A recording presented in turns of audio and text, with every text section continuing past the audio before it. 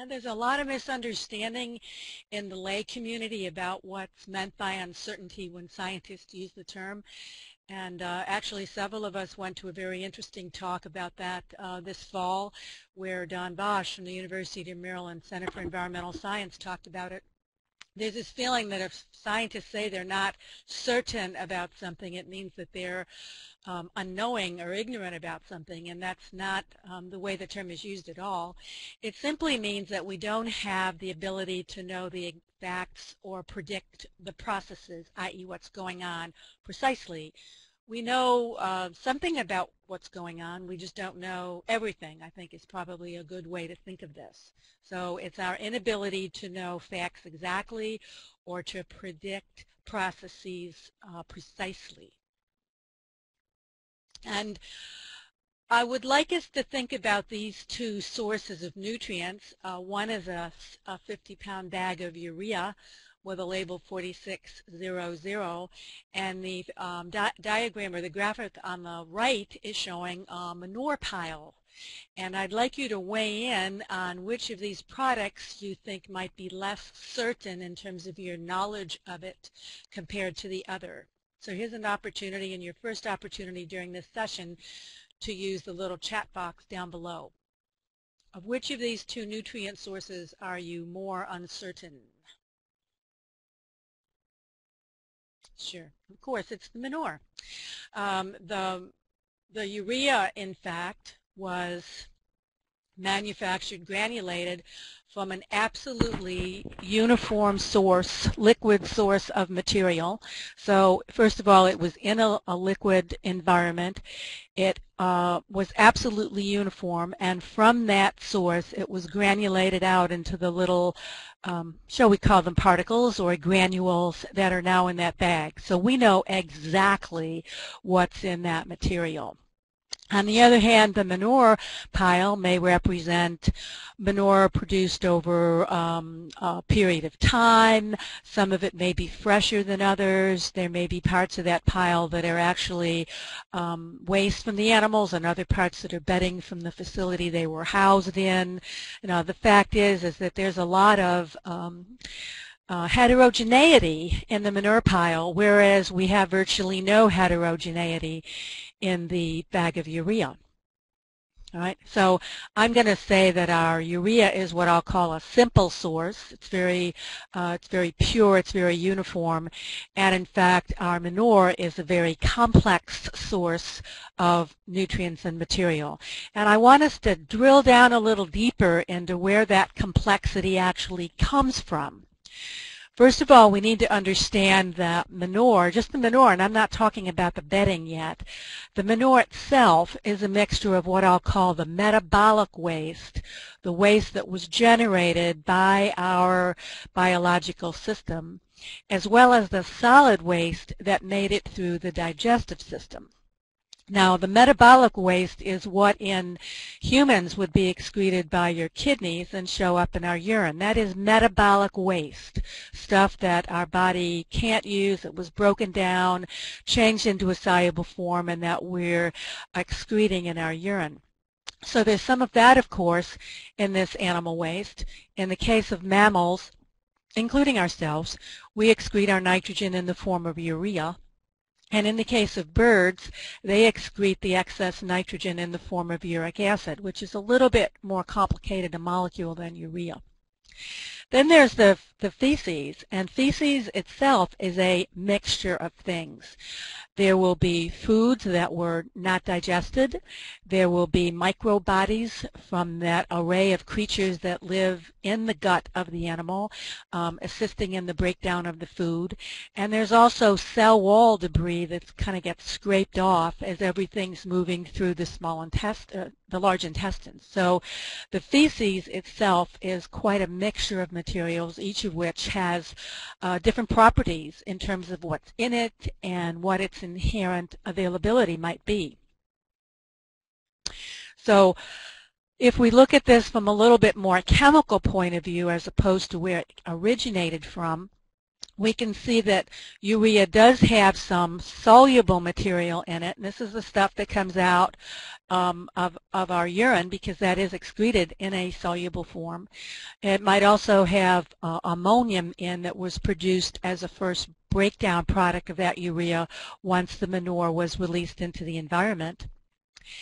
There's also going to be some organic molecules that are what I'll call labile um, that means they break down relatively quickly when they're released into the environment and added to a soil. There'll be some materials in that manure which will be quite stable and might take a considerable time to actually break down into an available form. And by considerable, I mean months to perhaps years. And then in many modern animal diets, there are also inorganic mineral supplements um, included in the feed. And in um, in a number of cases where people have actually looked at manure composition in a very fine scale, they've actually found some of these mineral particles making it through the animal's gut and being present in the manure itself. Now that doesn't sound like a particularly exciting master's thesis, but there was there have been um, at least two that I know of, or, or, advanced degree dissertations or thesis, where people actually separated out the components of manure and and identified some of these mineral forms, and in fact identified them back, traced them back to the source in the feed. So the stuff in the manure exists on an array of availabilities. That is, um, an array of the amount of time it might take for that stuff to become changed into a form where the plants can take it up, with the soluble material, of course, uh, being quite uh, readily available or very soon to be in an available form, like the urea. All right. So we know quite a bit about the variability of manure. We know that chemically it's quite different. We know that it originated from different um, in different ways from the animal system. But when we get a manure analysis, this is what the information is, is that's provided to us. And this is um, kind of the traditional manure analysis in the Mid-Atlantic based on um, what the labs provide to us uh, on our, based on our communication with them about what's needed. We, in fact, are going to know that the uh, total nitrogen, um, the ammonium nitrogen, the um, phosphate, P2O5, the potash, and the moisture. And this analysis actually represents the bare minimum one needs in Maryland to generate um, information about the plant available nitrogen and the phosphorus and the potassium that should be uh, taken into account when you're doing the plan. Right? There are some labs that, for example, do not give ammonium nitrogen information because in the area in, that they traditionally serve, people haven't necessarily wanted that information. In Maryland, we need that information because it's part of our protocol for calculating plant available nitrogen. Okay, so manure is uh, quite variable from one farm to the other and perhaps from season to season over the same farm. And just to get a sense of that and and why the use of um, some average analysis someone looked up in a book might not be a great idea. I've show, I'm showing you here the data, uh, the average, minimum, and maximum for nitrogen, ammonium, phosphate, and potash for some recent samples. Uh, this was calculated from 204 samples that were used in nutrient management plan development by extension advisors, but during fiscal year 8, 9, 10, and 11. So it's very recent information. And you can see that uh, although we have an average of 0.78% nitrogen in these solid dairy manures that we use for plant development, there's an incredibly wide range of possible values that were actually used based on an actual manure analysis that was supplied for the development of this plan. Very, very little nitrogen was found, 0.04% nitrogen was found in one sample, and as high as 2.67% nitrogen was found in another. Now in case you find that a little disturbing, I want to show you that we have very similar range of differences between the min and the max compared to the average for ammonium. We have a similar wide range in phosphate and we have a, an incredibly wide range in the potash. And the reason why manure analysis is uh, emphasized and required uh, as a basis for developing a nutrient management plan is because we simply can't rely upon book values. Uh, we need to actually get uh, a good representative sample of the material that our producer is going to use so we know where they fall within this possible continuum. And if you want to compare this table to an older table that we've got, you'll see similar differences. Uh, it's probably no worse, but it certainly uh, hasn't appeared to get any better over time either in terms of the possible range of values that's out there for nutrient composition of, of a particular manure type. All right. So um, I want a little uh, uh, thinking on your part here. Why is there all that variability in a solid dairy manure? After all, they're all dairy animals. Uh, it's all within a rather narrow window of time. Give me at least one reason why we might be seeing this kind of variability. And I know this is going to take a couple words here or a sentence, so I'll give you a, a little bit of time to respond. How can this amount of variability actually be observed? Why are we seeing it?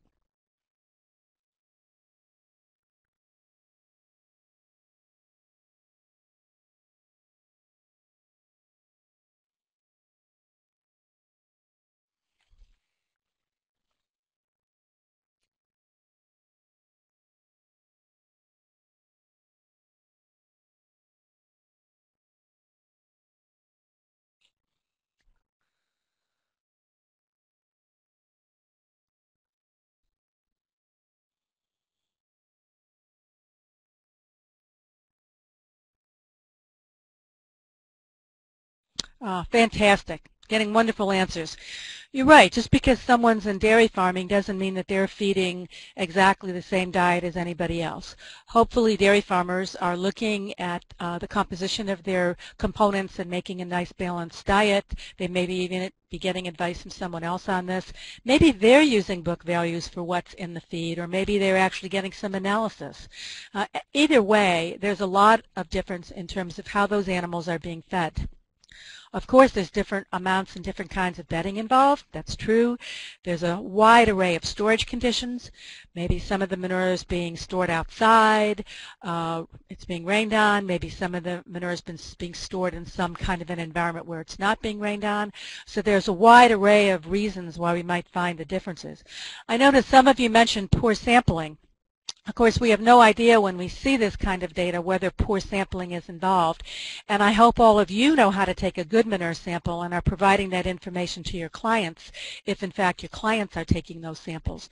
And I want to remind you that we have a manure sampling bulletin on our website and uh, you should be providing that to folks if in fact they're taking their own samples. And I would certainly chat with them, do some what we'll call active listening to see whether they're really incorporating those principles into their sample collection collection if in fact you're relying upon their collecting it. But yes, I hope that's not a reason, poor sampling techniques, but I have my suspicions when I look at some of those values, both the high and the low, that that could be part of, uh, that could be the reason why some of these values vary. But even beyond that, even assuming the samples were taken correctly, we're still going to see some variability within an animal group due to all those other things we mentioned differences in feed, differences in storage condition, differences in the uh, length of storage time, and the amount and time, uh, the amount and type of bedding. Okay, so first we're going to talk about uh, manure sampling because it is so very important. We want to know what's in the manure that this particular client is going to use, and we want to collect a representative sample as close to the time as utilization as is practical. Now, representative means that it represents that pile of manure um, to the greatest extent possible, realizing that the pile itself or the, or the amount of manure itself may not be perfectly uniform either. So um, we're going to collect a sample uh, that hopefully represents uh, fairly closely uh, uh the material that the person's going to put out. That is close to the time as utilization is, as is practical is important. Uh, we realize that manure will continue to undergo some changes uh, with time, and we want to minimize that time and, and the opportunity that goes along with it for further changes. So if we're talking about manure that's being applied on a spring crop, perhaps it's being applied in March, April, May, uh, what I'm telling people now, and no one at MDA has disagreed with me vociferously, is that we need to look at sampling our manure um, in, in the uh, what I'll call uh, early winter so that there's time to get the information back from the lab, time to get that information to your planner, time for the planner to get it into the queue for plan development. I like to think that the time period between about Thanksgiving and New Year's is a good time. Uh, might, might get it on people's holiday schedule. They could get their information back from the lab, even if they send it in first week in January within a couple weeks. It's before the huge crunch most labs uh, experience, and there's still time to get that information to your planner and for them to develop that plan uh, before you want to get out there and actually, before your producer wants to get out there and actually apply manure. Now, just as a means of review, and this is information that is taken from our publication on manure sampling, if we just look at the solid uh, manure, and, and that publication also talks about liquid, but uh, I'm trying to fit a lot into an hour here, um, you have to collect a number of samples. Uh, remember, just like a field is heterogeneous, um, a, a, pile or, or um, a lagoon or a pile or storage area of manure is also heterogeneous and the best way to, to get a representative sample is to collect a lot of samples so that once you mix them together together and get them analyzed, they have a better chance of actually representing the material that you have. So I re recommend a minimum of 10, uh, and actually uh, I would go towards 15 if it were my operation, of samples um, from the manure storage. Right. If bedding is involved, you want to include bedding in the manure sample to the same extent that it is in the source. You do want to avoid any untypical components, and that's a big player in manure that's been stored outside and might actually have a crust on it. Uh, you, if that is in fact the case, you want to avoid the crust because it is probably not typical in composition of the rest of the uh, pile. And your whole goal is actually to get what we'll call a composite sample, a sample that's been taken from many places in the pile. From there, you want to mix that composite extremely well. Uh, if you are mixing it in the same mixer that you use for soil, you want to be sure that you mix, uh, clean it out well after that. But you want to mix that manure very, very well. And then you're actually going to take a subsample of that composite and send that subsample off to the lab. Be sure that you package it carefully. Um, we recommend double bagging in Ziploc bags for solid manure so that um, the material will arrive in the lab still in packaging and if you have more than one, packages aren't breached and you don't get mixing. Now the manure analysis is a wonderful first step. We should be very careful in how the manure is sampled. We should follow the principles of excluding untypical materials. We should take a lot of samples. We should get a good composite that we mix well and from that we'll get our manure analysis. But we hopefully we all know by now that um, that not all the nitrogen in that manure is going to be plant available the year of application. Um, depending upon where you are in the country, there are different protocols or equations that are used to estimate the plant available nitrogen, and I'm going to go over our equations for that in just a moment. I will say that most of the research points to the fact that the phosphorus and the potassium in raw manures are in fact plant available. So pound per pound, uh, the phosphorus in manure, raw manures, is equivalent to the um, phosphorus you get in a commercial fertilizer. Several uh, studies in different places in the country have supported that idea. Right. So how do we figure out what the plant available nitrogen of a manure is? Well, the protocol we've used in Maryland for a number of years is this. Our plant available nitrogen is the sum of our available ammonium plus the available organic. All right, so it's available ammonium plus available organic. Our available ammonium is the ammonium in the manure sample times the ammonium conservation factor. And you know that we tend to like these nice little equations. And another way of saying this is ammonium nitrogen times conservation factor, or ammonium nitrogen times FCON. That will tell us what the available ammonium is of the total ammonium that was um, found in the sample when it reached the lab. So the second half of this is the available nitrogen. How do we calculate available nitrogen? Well, available nitrogen is the organic nitrogen times the mineralization factor. Or using our neat little equations, it's N-org times F-min. Now who can tell me how we get organic nitrogen? Because it wasn't on the manure analysis.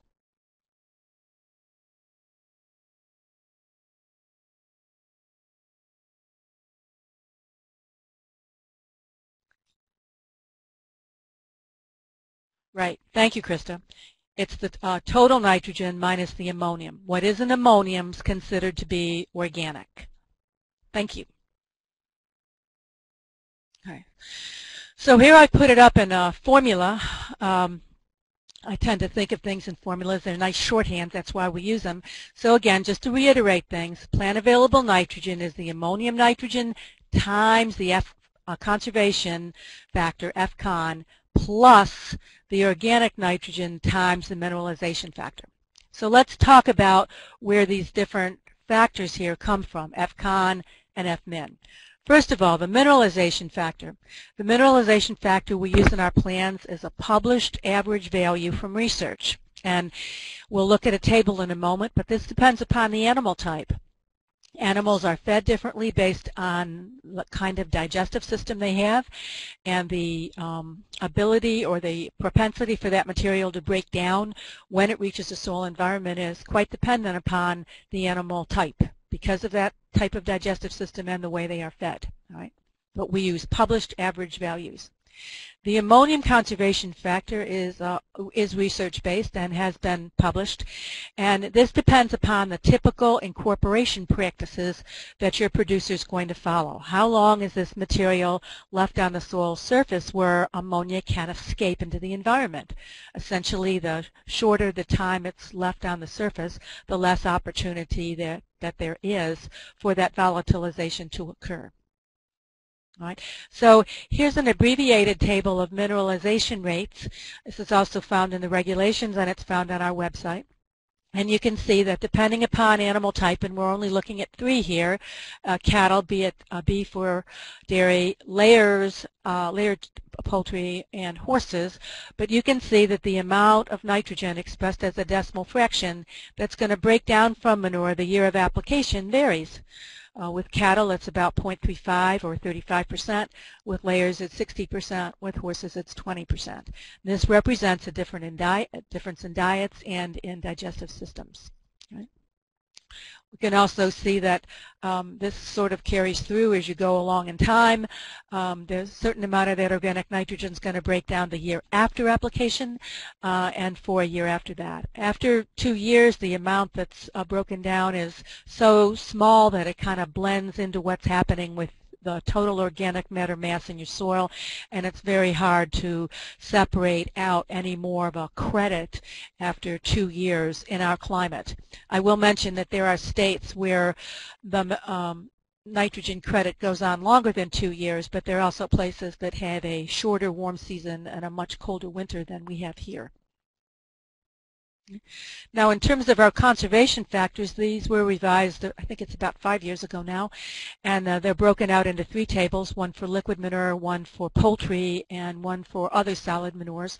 And this is the one that I put up here, the other solid manures. And you can see that we now discriminate between whether things are are being tilled in by conventional tillage, by conservation tillage in term, and also look at uh, how long that material is left on the surface before it is incorporated into the soil. If in fact you are in a no-till situation, you're only going to conserve about 35% or 0.35 as expressed as a decimal fraction of your ammonium that was uh, reported in your analysis.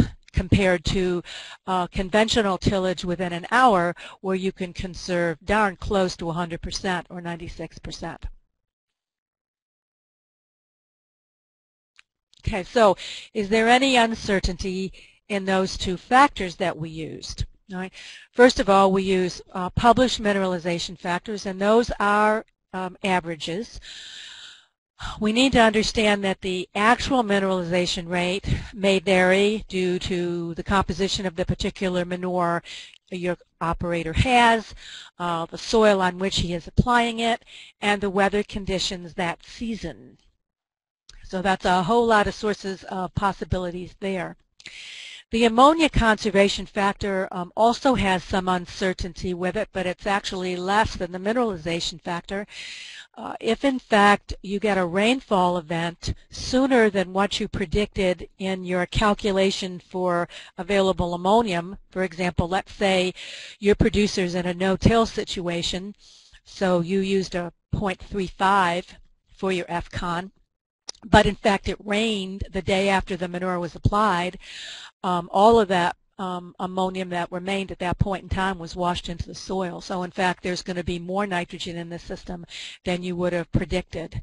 Um, and that's where the variability in the ammonia conservation factor typically comes from. So we're going to go back and look at this first issue. Uh, what kind of variability do we see in mineralization rates? And um, to tell you the truth, as disheartening as this is to me, it is phenomenal. Right? So let's look within um, animal types. Um, I like the Delaware study because Delaware is close and people tend to feel some uh, kinship with the results that um, are found in their research. There was a very, very uh, well-designed study done in Delaware a um, number of years ago now, 20 litters. These were actually from commercial broiler houses, not from some little experimental setup. And these litters were incubated in the same soil under very controlled conditions. So that means the breakdown occurred uh, the differences in the breakdown occurred as a function of the litters, not because one season was warmer and one was colder or not because there were any soil differences, because these litters were mixed into the same soil um, and were kept under controlled conditions where all of the little containers uh, had the same, um, were in the same chamber with the same moisture and um, temperature conditions.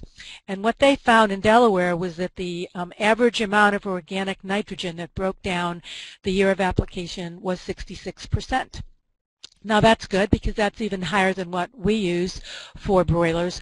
But they also found that the values ranged from a low of 21% to a high of 100%.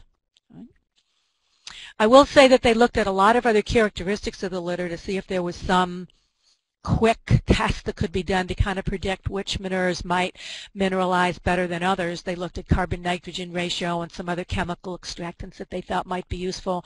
And I've got to tell you that nothing jumped out at them as a, a good, quick indicator of uh, inherent potential mineralization. Um, so unfortunately, um, we were left with uh, what I'll call ambiguity or uncertainty, but not a reason for it and not anything we could explore um, further. A similar study was done much more recently by folks at USDA here in Beltsville, but they collected samples uh, from here up to Maine from dairy farms, actually 107 dairy manures, and uh, they found that their mineralization um, range from 0 to 55 percent, when in fact the average mineralization rate of um, cattle um, is 35 percent. So I just want to impress upon you that these materials uh, are quite variable. Um, not only in terms of composition, which we can look at quite easily in a table like I showed you earlier, but they also have tremendous variability in terms of how they behave when you them to, add them to the soil, particularly in reference to how much nitrogen would be released that first season. Now a study in Georgia, and they, they did one where they looked at a lot of litters, but they also did one where they looked at one litter in nine soils, and these were nine soils that were typical of the part of the state where manure had been was being used. And again, they looked at this under controlled conditions, so the temperature uh, was the same and, and the moisture content of the uh, soil manure system was kept the same. They found an average mineralization rate of 62%. So we're kind of converging on this 50, 60% as an average. They found a little bit tighter range um, across soils than Delaware found uh, across manures. But they did find that the range for these um, over these nine soils was as low as about 40 and as high as 80. So again, we're getting variability due to soil differences. And they found that the uh, sandy loam soils had a higher mineralization rate, or the loamy sands had a higher mineralization rate than the sandy loams, and the sandy loams had a higher mineralization rate than the clays. Okay, so I want to really stretch you now. I want to ask you what soil characteristics might be responsible for a higher mineralization rate of a particular manure in a loamy sand soil than in a clay soil. So I'll give you a, a minute or so to uh, respond to that.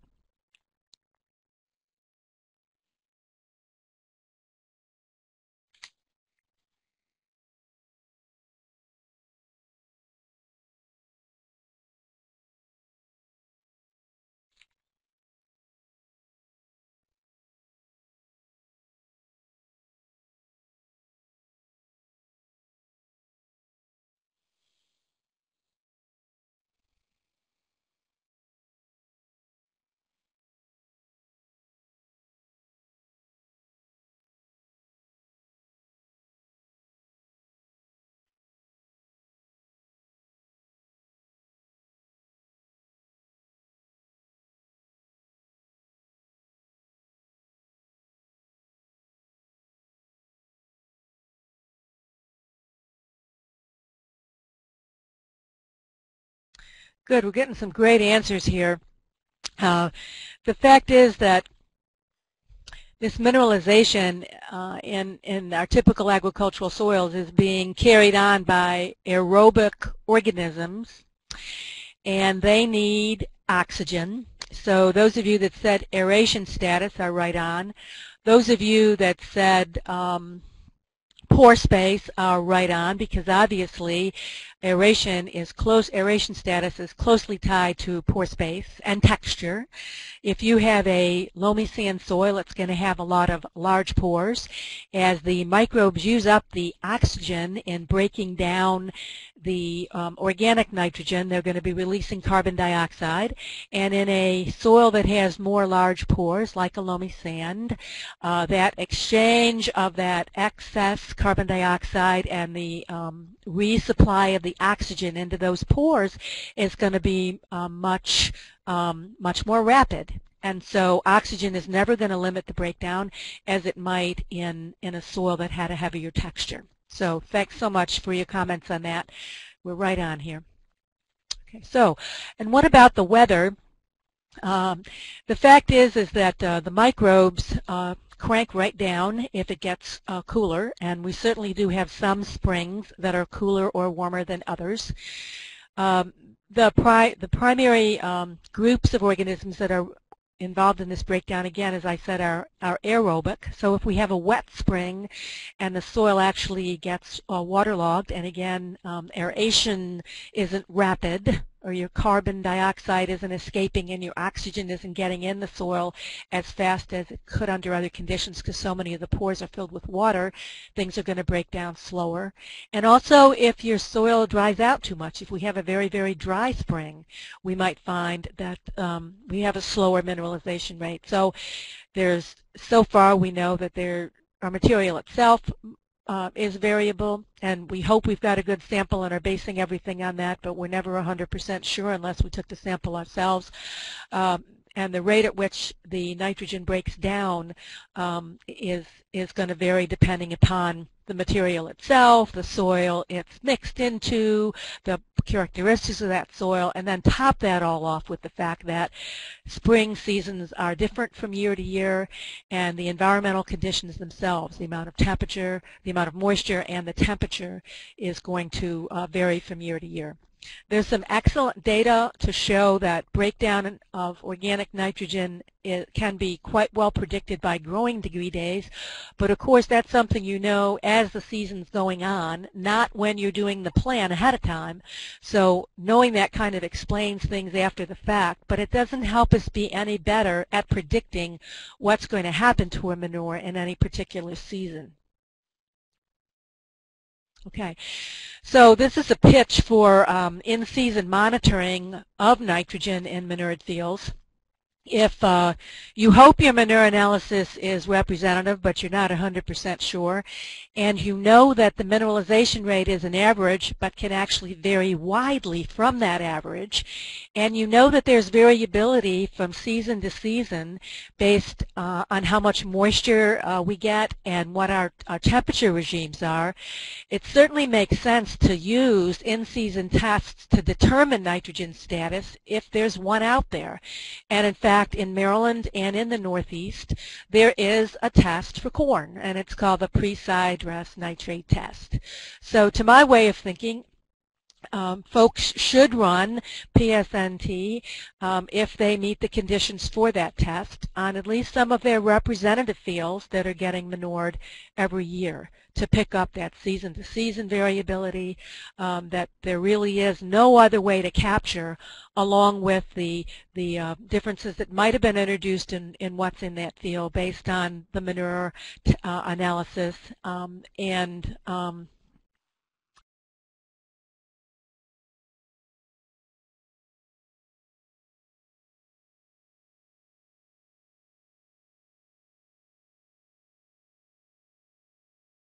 and the soil in which it's being um, utilized. And then there's this whole other issue of, am I sure the rate I recommended was actually applied and applied uniformly across the field? So I'm going to switch gears here and now talk about how important it is for a producer to know how much manure is actually going out. And the only way we can know that is to measure what's going out, and if it's not the amount that uh, is being recommended to alter the settings or something on your application strategy so that uh, you're um, getting closer to the recommended amount than you might be now. And that's another way of saying calibration is essential. I'd like to assume that every producer out there wants to know what their spreader's putting out and that they also would like to put out as uniform a rate as possible. So I'm going to harp on those two things over the next few moments. First of all, there's a, a, number of different kinds of manure spreaders, and I'm going to limit my discussion today to rear discharge spreaders. And I'm also going to use the weight area method in the example. There are other methods, and uh, we'll look at the references for those in a few minutes. But the conversation we have right now will be limited to these two conditions, rear discharge spreaders and the use of the um, weight area method. So how does the weight area method look? Well, you collect manure on a small portion of the field and you project that application rate um, on a per acre basis. And your small area in a field might be a tarp or a, pla a plastic sheet or some other collection surface. And this is a very good method for many manure types. All right. Um, I don't want to get into the discussion today of whether it's good for poultry because there's a there's a lot of polarization on that thought. Uh, I have some people whose word I respect tell me that this doesn't work at all for poultry litter because the litter just slides right off the sheets, and I have other people say it works perfectly fine. So um, try it and see what you think, um, but um, I don't have as wide an experience with that as I do other manures, and um, I'm not going to get into that discussion. I'm just going to know that there's a difference of opinion. So what about uniformity across the, the, the spread width? You know, for example, do you know whether or not your applicator, um, your manure spreader, applies uniformly across the distance where the manure reaches the soil? Um, do you know if any manure gets spread to the side of the equipment? So we're going to look at some, um, some data that I and others have collected to uh, address these issues. First of all, in my uh, zeal to understand manure calibration better so we could write that series of pubs we did a couple years ago, over a, a good five years, um, we calibrated a number of spreaders and um, tried to get a sense of what the capability of the different machines was. And this is an instance where we were actually applying a composted manure uh, with a um, with a box spreader. And this composted manure had a very, very nice consistency for spreading. That is, it was friable, it didn't have any big clumps in it, it had a nice moisture that was going to um, spread quite well, much better than what you might find in some of these clumpy, wetter manures that are put out with box spreaders. This is pretty close to an ideal situation for determining what the inherent variability is behind a typical box spreader. All right. And what I did so I could collect more experimental units or gather more data was to actually spread the width behind the spreader into two equal parts, the part from the middle to the right and the part from the middle to the left. Right? So I got two numbers. For example, in one case um, we got 15 tons per acre rate on this on the left side and the other side right. And farther down the field where we had stuff spread out, we got 16 on the left side and 19 on the right side. And farther down the field even more, we got 24 on the left side and 26 on the right side. So a reason for doing this is you want to know whether there's any non-uniformity across your spreader. That could indicate that something's clogged.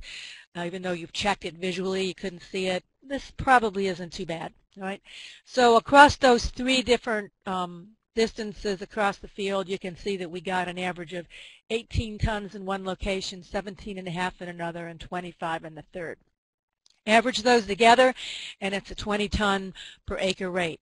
Not bad, but the fact is that uh, the actual numbers that went into that average were um, 25 to 30 percent off from the average. Right?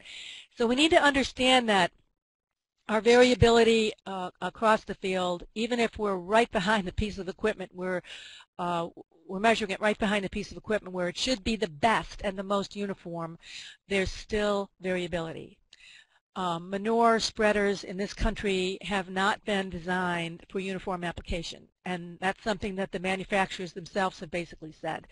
There are some pieces of equipment coming out of Germany that are much better, um, but the, the ones produced in this country um, don't have a goal of, of uniform spreading, quite frankly. And I think this is a real difference from fertilizer um, application equipment where there's much more um, emphasis on that. Okay. Then we've got the whole issue of is there any lateral spread? Is everything going out right behind the spreader or is there stuff being spread to the side? Okay, and again, we've looked at that in far more detail than I ever want to admit. And uh, what we found is that uh, in many circumstances, at least 75% uh, of the material is spread directly behind the spreader in some box spreaders. Um, we've even found it to be higher than that. Right. On the other hand, if you start talking about spinner spreaders, only um, a, a, relatively uh, small amount of the material is actually directly behind the spreader, and there's a tremendous amount of that material that's spread laterally or to the side. And that comes into uh, play when we um, try to try to figure out a way of co uh, coming up with a process, a protocol, a calculation, etc., that will assist us in determining how we should come back and do our next pass if, in fact, we want uniform application. And I'm going to assume we do. Okay. So here's a graph. This is out of a, a publication from Georgia, and they were looking at spreader distribution patterns and this is from the center. This is from the, you know, the center tire, uh, the center of the spreader. And they got about uh, three tons directly behind and an average of um, eight feet on either side. They got pretty close to two and a half tons and an average of 16 feet on either side. They were down to one ton. So this is poultry litter. Uh, this is probably a spinner spreader, although they didn't say in their publication. And you can see that there's some pretty significant, um, pretty significant quantities that are being spread uh, laterally. Here's an example of a piece of equipment that has a much tighter spread pattern. This is a box spreader. You can see that huge portion of it's directly behind with very small amounts of it that are spread laterally. Not insignificant amounts, just smaller amounts. All right. Now here's a, a beautiful graph from Iowa State where they were looking at spread patterns and how to uh, how to um, compensate for them to get uniform application. So they went to great detail to show uh, um, the distribution from very far to the right and to the left. okay, about eight feet each way. And uh, this is what you get if you look at the one spreader pass. Again, um, very high rate or much higher rate, approaching 15 to 16 tons per acre directly behind the spreader, but you're still getting some um, considerable distances out. Okay, so first they did um, three passes and they looked at um, at a um, at 12-foot spacing between passes, that is from the center of one pass to the center of the other pass. It's a 12, it was 12 feet. And in fact, you can see that if you do that, you get a very, very uneven distribution.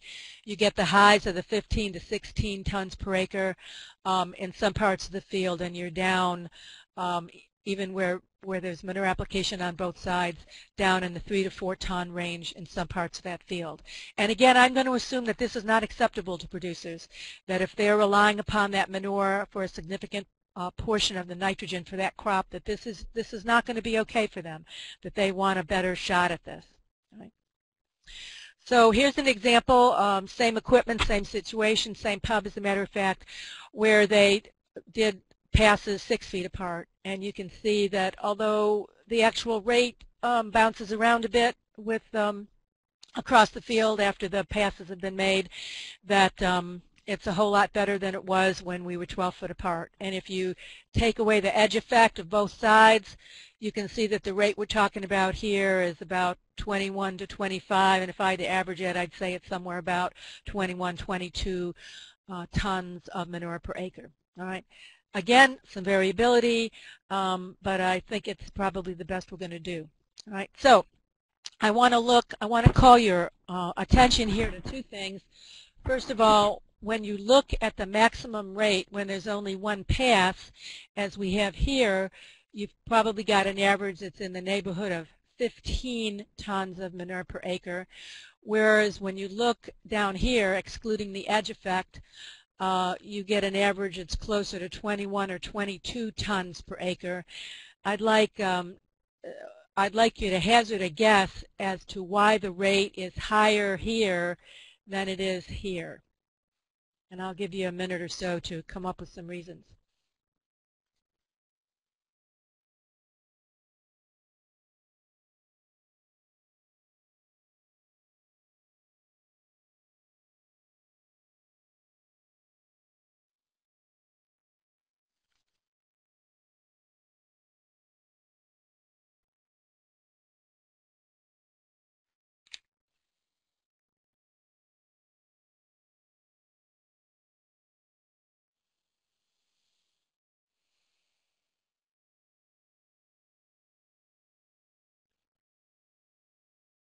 Okay, fantastic. Thank you.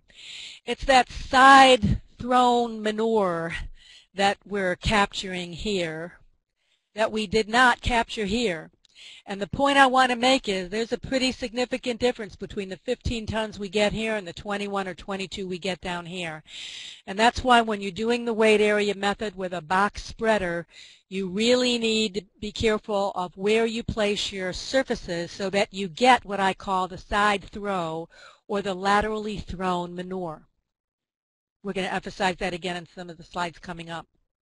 Okay, so there's there's a concept called effective swath width, and I like it because it's it's it's pretty precise. Conceptually, it's the distance between the center point of one pass of a spreader and the center point of the next pass. So I know exactly what I mean by it. Arithmetically, it's the sum of the distance on each side of the center line of the tractor and the spreader path where the application rate is 50% of the maximum application rate. So I understand what it is in the first definition, and I know how to calculate it in the second definition. Okay, so how do we deal with this lateral application?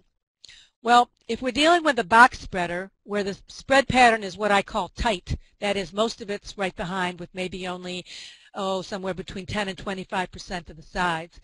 The effective swath width is essentially the width of the spreader. But you have to be very careful where you put your collection surfaces so you get the lateral throw from each side.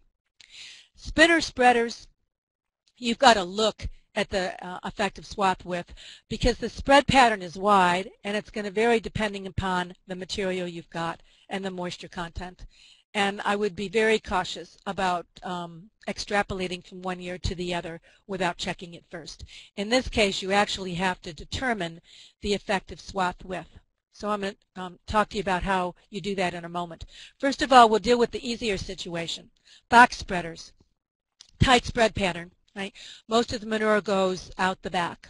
Some goes to the side. However, if we place our um, collection surfaces in the right place, we can co compensate or get that side throw.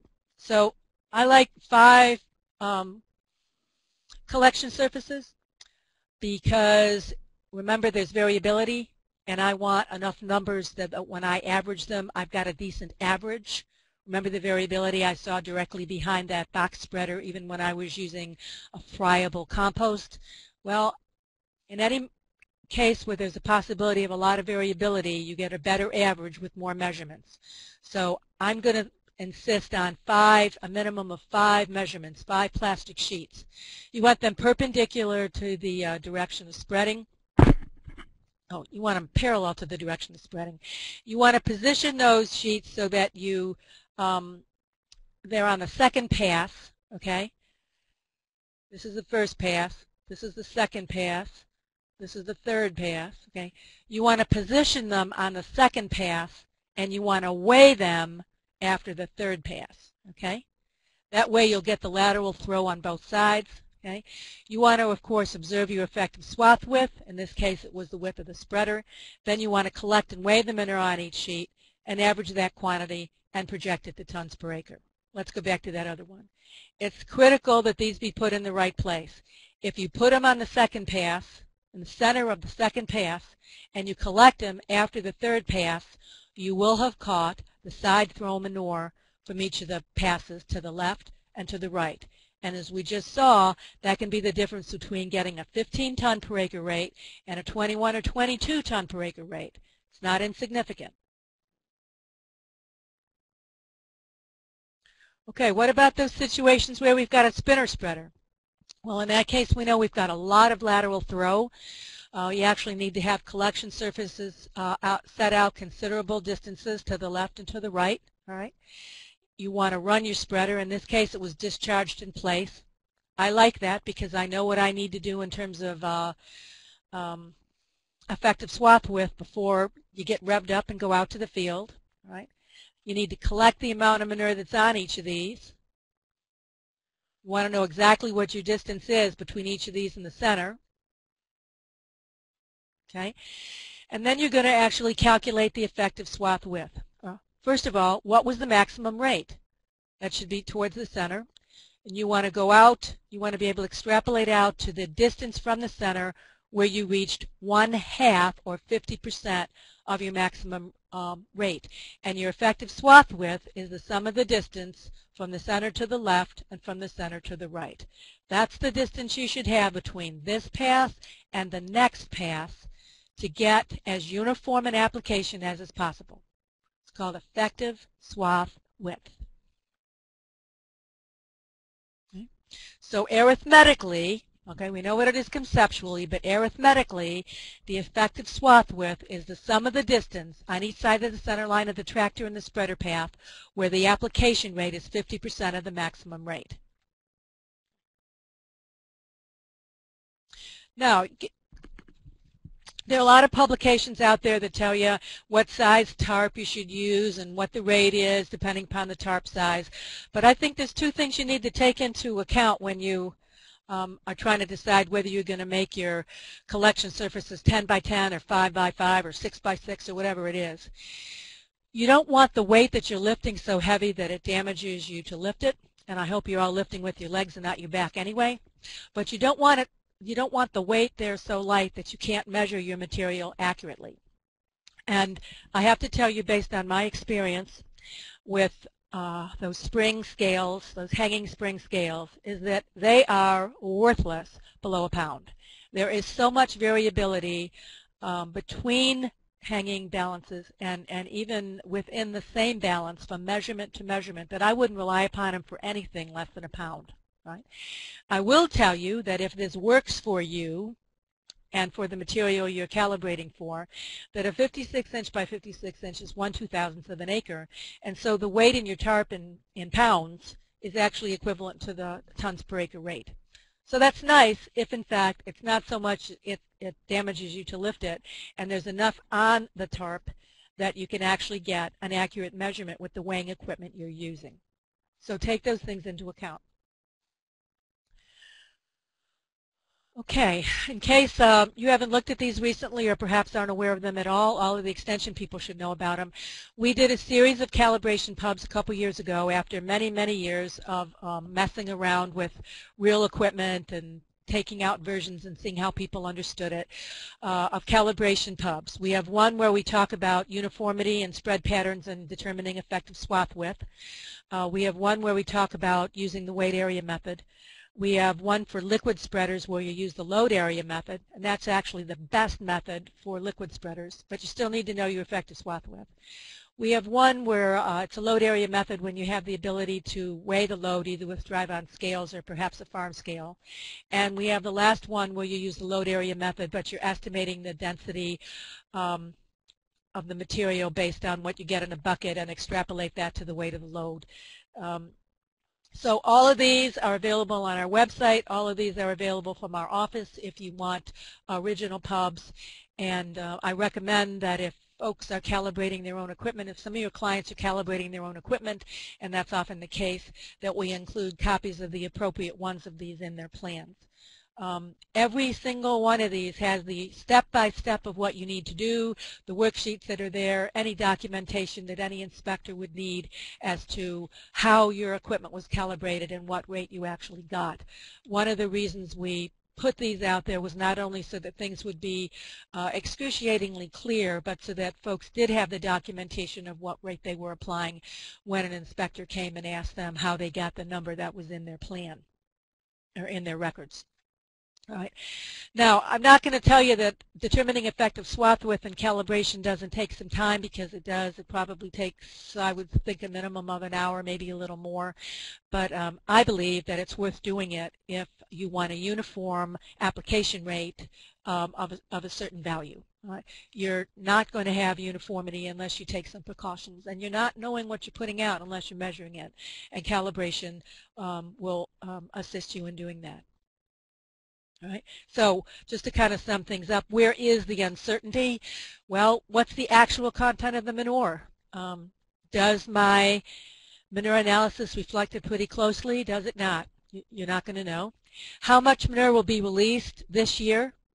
Um, you're not going to know that either. You're just going to know that it could be significantly more or significantly less than what was assumed in the plan. And is the recommended rate actually being applied in a uniform manner? Well, you can actually be more sure of this than you can of the other two if you've determined the effective swath width or using the effective swath width for box spreaders and if you've calibrated. You can actually be more sure of this than you can of this. All right? If you've taken the sample yourself, you're probably quite sure of this too. So how do we deal with the variable nature of manure?